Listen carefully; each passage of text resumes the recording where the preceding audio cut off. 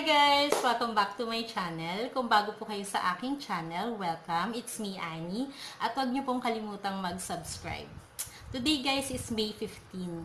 At alam niyo ba, ngayon ay araw ng aming wedding anniversary. So, 12 years na kami kasal ni Daddy at 12 years na kami nagsasama kasama ng aming mga anak. So, I'm so excited and I'm so happy today na masaselebrate namin yon kahit nandito lang kami sa aming bahay. Ang tanging hiniling ko lang sa kanya guys is um, mag-samgyupsal kami. Kasi ang tagal ko na talagang nagkikrave sa samgyupsal. At pinagbigyan naman ako ni daddy. so guys, speaking of uh, samgyupsal, gusto kong i-share sa inyo kung paano ako gumawa ng tomato marble at saka cheese dip na gagamitin natin para sa samgyupsal. And guys, I wanna take this opportunity to say thank you sa lahat ng mga nag-subscribe sa akin. Guys, 101 na tayo and I'm so happy kahit na ganun pa lang uh, ang aking subscriber. Natutuwa ako kasi meron ng mga nakakapanood at nakapag-subscribe sa akin na hindi ko kakilala or hindi ko kapamilya. Ayan.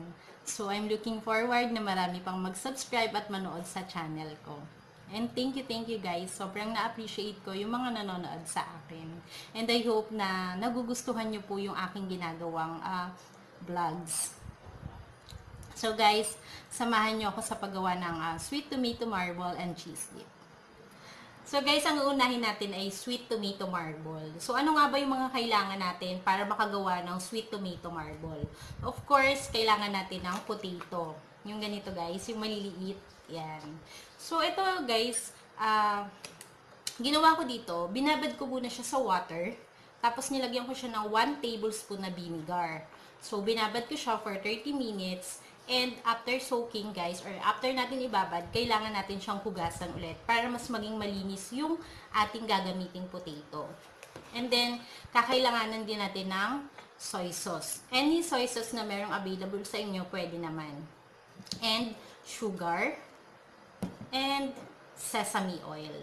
Ayan. Siyempre, kailangan natin ng sesame seed. Kaya lang, wala kasing nabili si daddy ng sesame seed. So, uh, wala tayo ngayon nun. And kakailangan din, din natin ng isang basong tubig. So guys, lagay na natin tong uh, tomato marble sa ating uh, kaldero or pagkukuluan niya.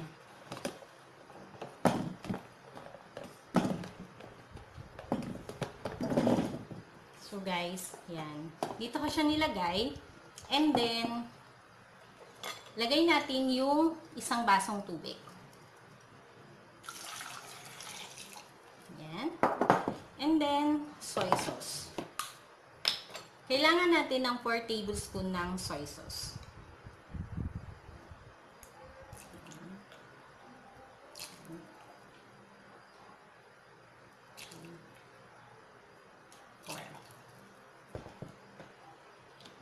After 4 tablespoon of soy sauce, uh, 4 tablespoon naman ng sugar.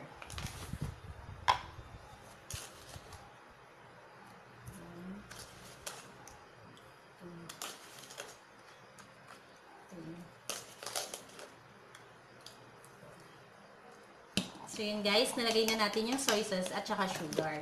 Yung sesame oil, mamaya na natin siya gagamitin guys. So ngayon kailangan na natin siyang i-boil for 30 minutes. Uh, wait lang natin siyang kumulo. So ngayon kumukulo na siya. Kaya lang guys, chinek ko yung potato, hindi pa siya uh, masyadong malambot. So hintayin pa natin or pakuluan pa natin siya ng konti.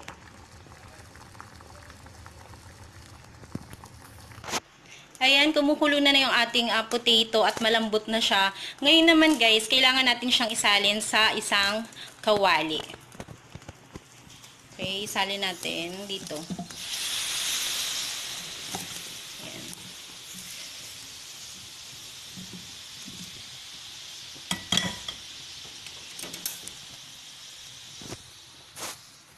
Yan guys. So yun guys, nilipat ko lang siya sa isang kawali. Tapos nilagayan ko na rin yung uh, garlic niya. Kung nakikita niyo yung mga puti, yun ay garlic. Tapos wait lang natin siya kumulo for 10 minutes or maging thick yung kanyang sauce. Nilagyan ko na rin siya ng 1 tablespoon ng sesame oil. Kung meron kayong available na sesame seeds, pwede nyo na rin siyang isama. So yun guys, hindi ko na napakita sa inyo yung pagkuha ng potato marble pero luto na siya. At ito siya guys. Ayan. So, after kong nilagay yung sesame oil, kung meron ka mo, kayong available na sesame seed, pwede, nyo, pwede nyo na siyang budburan ng sesame seed. So guys, natikman ko na siya at tulad ng, sabi nga ni Daddy, tulad ng lahat ng cooking show, kapag tinikman ko to, masarap to. so bala na no guys. Ayan, actually tinikman ko talaga siya. Ayan. Ayan. So ngayon guys, mag-proceed na tayo sa cheese dip.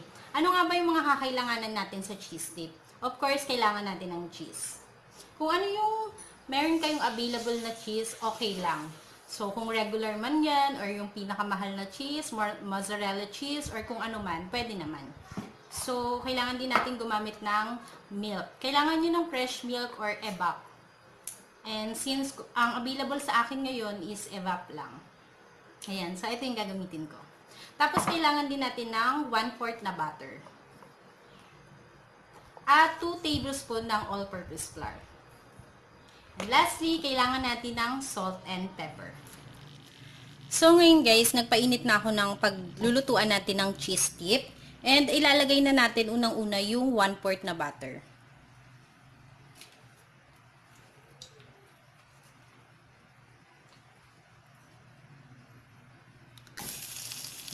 So ayan guys,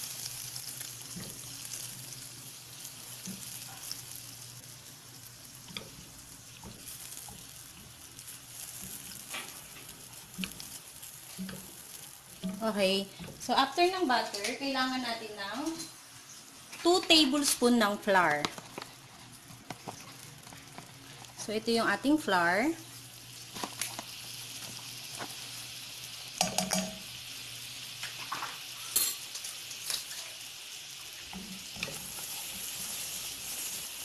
Tapos, sinaan lang natin guys yung apoy para hindi masunog agad. So, kailangan lang natin ng continuous na paghahalo dito.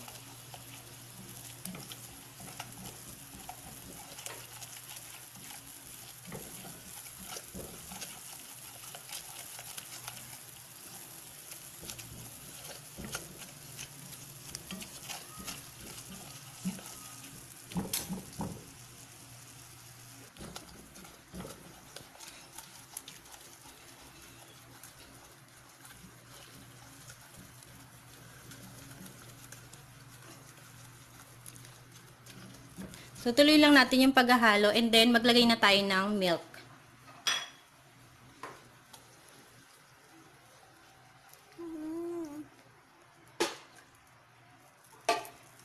And then, haluin ulit natin. Ala.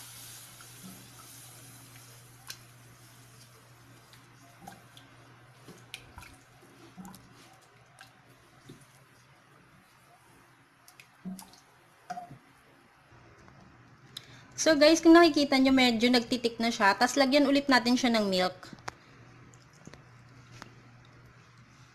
Yan. So, continuous lang yung ating paghahalo.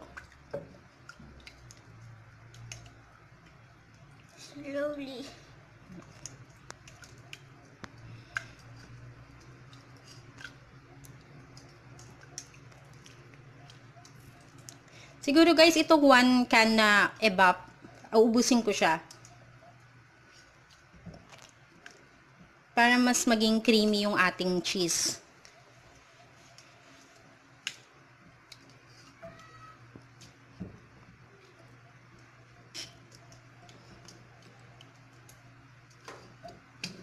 Parang pancake.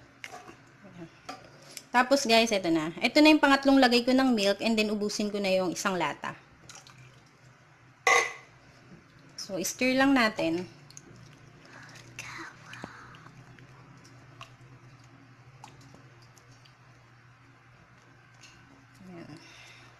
Kapag nagtik na yung ano natin, ating ah, milk, pwede na nating ilagay yung salt and pepper.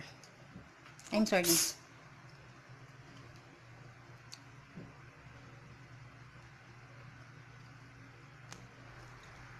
Ngayon naman, lagyan na natin siya ng pepper at saka salt.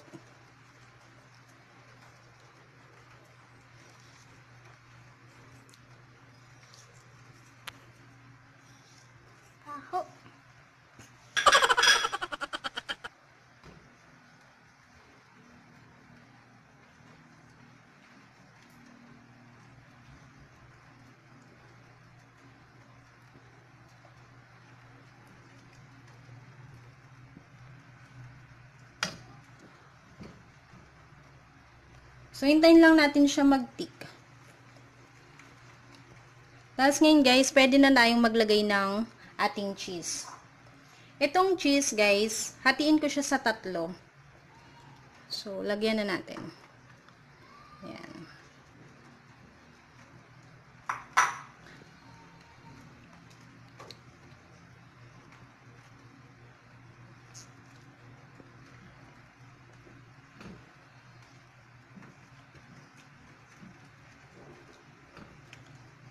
Basta haluin lang natin siya ng haluin guys. Tapos, kailangan yung apoy nyo mahina lang para hindi masunog ang ating cheese. Ayan. Tapos, lagayan ko na ulit siya ng cheese.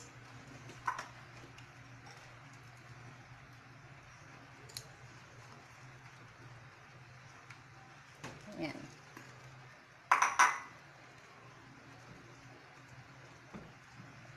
Ayan guys, ang bango na niya. Kung naaamoy nyo lang.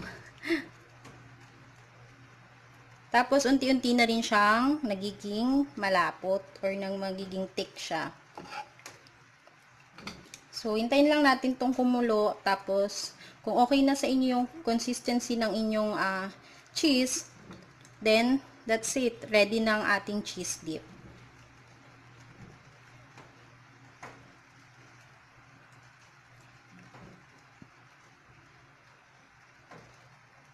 So, yun guys. Natapos ko na rin ang aking cheese dip. At, eto na siya. Ayan. Hindi ko alam kung makikita nyo, no? Pero, dalawang ganito yung nagawa ko. Pero, hindi ko naubos, guys, yung ginamit kong cheese na isang buo. Kalahati lang, I think, yung nagamit ko. Kasi, feeling ko, okay naman na siya. Na ganun kadami. And, kung an nagtatanong kayo kung ano yung cheese na ginamit ko, ito yun. Actually, it's Dane's Cheese Real Bacon Bits. Ito kasi yung nabili ni Daddy sa Pure Gold. Ang pinapahanap ko talaga sa kanya is yung ah, melted cheese. Mas okay siguro kung yun yung ginamit. Pero okay din siya, yung lumabas na sa niluto ko. Ah, okay din naman yung consistency ng kanyang pagkatik ah, ng cheese. So yun guys, ah, nakatapos ako at na-share ko sa inyo ang aking ah, simpleng paggawa ng sweet potato marble at saka ng cheese dip. And I hope nakatulong to sa inyo at magawa niyo rin to sa inyong ah, ah, future ah, DIY samgyupsal sa bahay. So guys, ah, samahan niyo ako later sa aming ah, ah, samgyupsal. And if you like this video, just give me a thumbs up and see you on my next vlog. Bye!